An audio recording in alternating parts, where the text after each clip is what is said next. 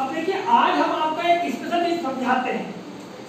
Odd one odd one word अर्थात odd word अब odd का मतलब क्या होता है यहाँ देखिएगा ये लिखा हुआ है ओड ठीक है? ओड का मतलब होता है अलग थलग या विषम। ओड का मतलब क्या होता है? अलग थलग या विषम। ठीक है? अलग थलग का मतलब जैसे मान लो अब भाई हम कहेंगे मान लो आपका नाम क्या है आपका? आपका? आपका? और आपका? अभी पाँच लोग हैं। पाँच लोगों में से अलग कौन है बताओ? पाँच लोगों में से अलग कौन है? मतलब और कौन है? अरे मतलब अलग का मतलब ये लड़का है और तुम चार लड़कियाँ हो। ये अलग हुआ कि नहीं हुआ है इसलिए मैंने मैं देखो चार चीज़ों के नाम बताऊँगा ठीक है पुस्तक ठीक है ये पुस्तक बेड बाटन और दरी। है? क्या अलग है बता जरा? अलग कैसे होगी भाई? सर जी। ये बाटन और ये सब हम स्कूल लेके आते हैं ना?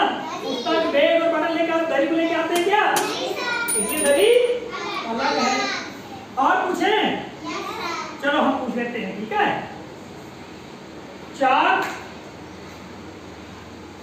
ये ब्लैकबोर्ड डस्टर और पंखा। बताओ, क्या अलग है इसमें? पंखा अलग है। क्यों पंखा अलग है?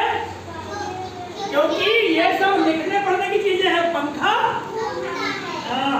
तो इसी तरह ऐसी वस्तुएँ जो अलग हो उनको क्या कहते हैं? ओड कहते हैं। क्या कहते हैं ओड यानी विषम या अलग ठीक है तो उसके बारे में हम पढ़ेंगे और उसके पहले बेटा देखो ये कुछ सब भंडार पढ़ाने चाहिए हमको तो यहाँ लिखिएगा लिसन एंड रिपीट सुनो और दोहराओ लिसन यानी सुनो एंड रिपीट यानी दोहराओ ठीक है तो आपको यहाँ पर हम बोल रहे हैं आपको दोहराना हमारे पीछे ट्री थ्री थ्री आप यहाँ पर देखेंगे T R double E tree होता है F R double E free होता है T H R double E three होता है तो यहाँ पर आप देखोगे आर डबल ई सब में है। तो इसका उत्तर क्या हो रहा है? ई हो रहा कि हो रहा है? टी से क्या बनता है तो ट्री ये एक से फा बनता तो फ्री और टी से था बनता है तो ट्री हो गया यहाँ बोलिए eat seat heat E A T eat S E A T seat और H E A T heat heat अब यहाँ पर देखो बेटा ई ए टी ये तो ईट बन रहा है है ना ई ए टी से ईट बन रहा है सब में ई A T E A T लगा हुआ है है ना अब ये एस से स बनता है तो एस से क्या बनता है स तो S double S E A T seat हो गया है ना और एच से ह बनता है एच से क्या बनता है हाँ तो H E A T heat बन गया तो जहाँ भी ई ए टी लगेगा वो ईट होता है। और उसके आगे कोई भी अगर कॉन्सोनेंट अर्थात व्यंजन लग जाए तो उसका उच्चारण होता है एच लगा एच से ह बनता है। तो एच ए टी ईट हो। जाएगा यहाँ पर देखिए विया टिया पियर तो यहाँ पर देखोगे W E A R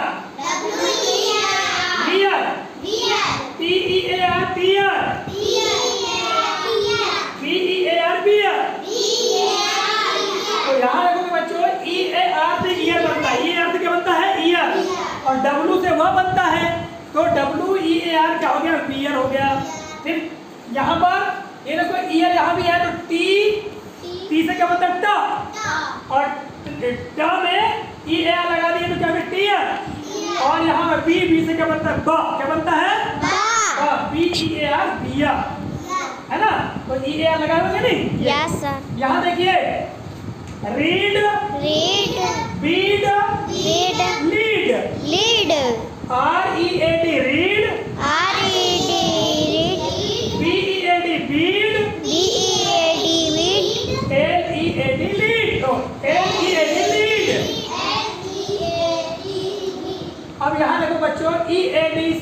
बनता है, इसके आगे आर लगा हुआ आर का मतलब र से है। क्या होता है? र तो R E A D read ये बी से ब बनता है तो ब में ई जुड़ गया तो क्या हो गया? बीड और ए से ल बनता है, और ल में ई ए डी क्या हो गया? लीड हो गया।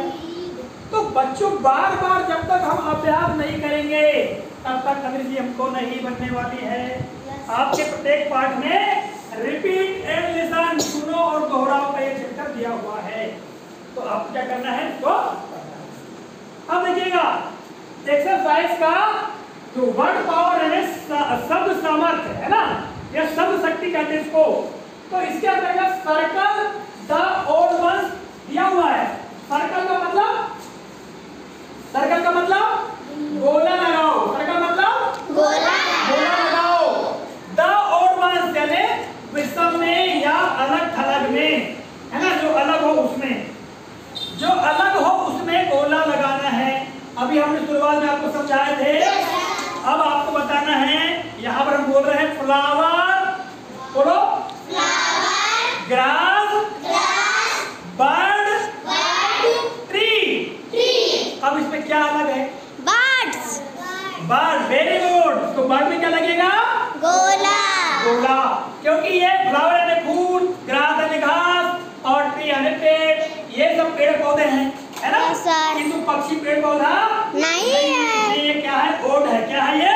ओड ओड है। दूसरा B I R D bird B double E bee B U double T R F L Y butterfly B और buffalo B U double F A L O buffalo. Buffalo. अब बताइए इनमें क्या अलग है? बता बफेलो बर्ड है B है बटरफ्लाई है बफेलो अलग है? बफेलो। बफेलो यानी? भैंस। बफेलो यानी? भैंस। भैंस अलग है क्योंकि ये बर्ड है पक्षी बी है मधुमक्खी बटरफ्लाई तितली ये सब उड़ते हैं। Yes sir. किंतु बफेलो उड़ती है क्या? No sir. नहीं इसलिए यहाँ पर सर्कल लग जाएगा। तीसरा sand, sand. wood,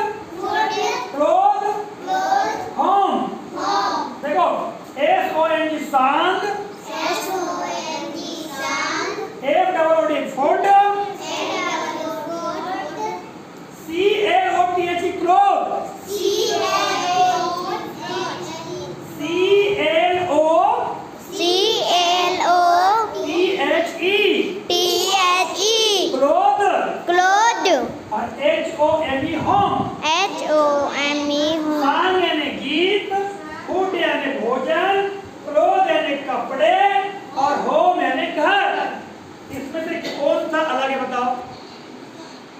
बता सकते हो क्या? होम। वेरी गुड होम क्यों है बेटा? क्योंकि वो घर है। ये ये वस्तु है। यस सर जिनका उपयोग हम करते हैं। किंतु होम रहने की चीज़ है। इसलिए ये अलग है। बहुत बढ़िया। आगे देखिएगा। फादर ब्रदर सिस्टर सिंगर तो फादर यानी पिता। ब्रदर यानी भाई सिस्टर यानी बहन और सिंगर यानी गायक। क्या अलग है?